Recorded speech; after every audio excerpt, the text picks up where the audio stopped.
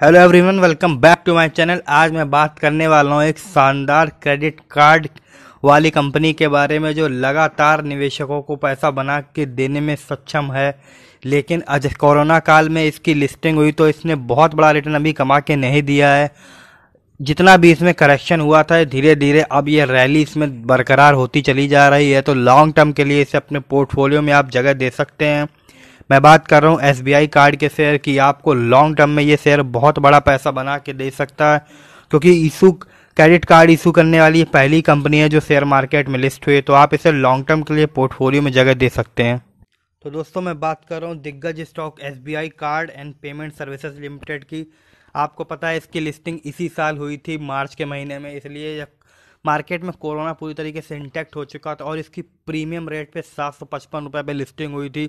तो अच्छा खासा तब से इसने प्रदर्शन बिल्कुल दिखाने का इसको मौका नहीं मिला है। तो लॉन्ग टर्म के लिए आप इसे अपने पोर्टफोलियो में जगह दीजिए। बड़ा पैसा आपको बना के दे सकता है। धीरे धीरे स्टॉक के अंदर रिकवरी लौट रही है और आपको अच्छा पैसा इससे मिलेगा ज़रूर। यदि आप लॉन्ग टर्म के लिए इसे अपने पोर्टफोलियो में जगह देते हैं तो देखते हैं एन में इसने कैसा कारोबार किया। उस दिन करीब एक परसेंट आप कह सकते हैं। तेज पाँच रुपये की तेज़ी देखने को मिली। सात सौ तीन रुपये के ऊपर एडजस्टेड क्लोजिंग प्राइस है।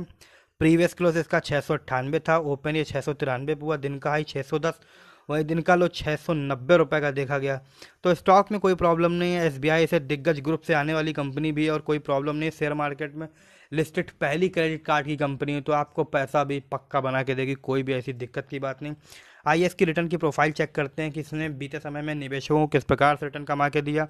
तो आज मतलब इसने पॉइंट सेवन टू परसेंट के पॉजिटिव रिटर्न कमा के दिए हैं बीएससी में। वहीं बीते एक वीक में इस स्टॉक ने चार दशमलव एक नौ परसेंट के बढ़िया रिटर्न दिए। एक महीने में स्टॉक लगभग लगभग साढ़े सत्तर परसेंट ऊपर चला।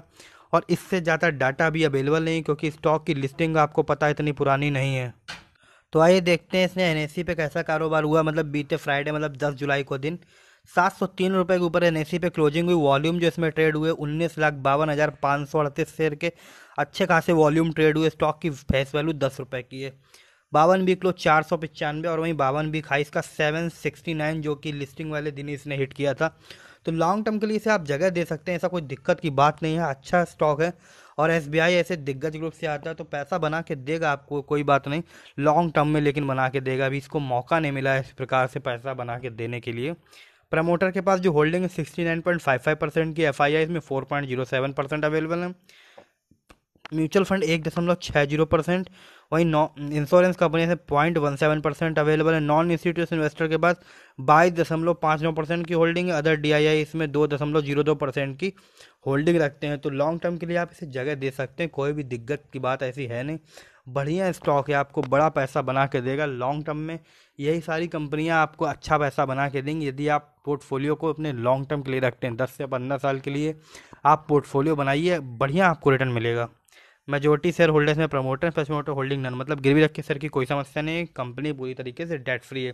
म्यूचुअल फंड की सत्ताईस स्कीमों ने एक दशमलव छः परसेंट की होल्डिंग रखी एफ़ आई आई की एक सौ तिरालीस स्कीमों ने चार दशमलव ज़ीरो सात परसेंट की होल्डिंग रखी promoter with highest holding State Bank of India के पास sixty nine point five one percent की स्टेक है।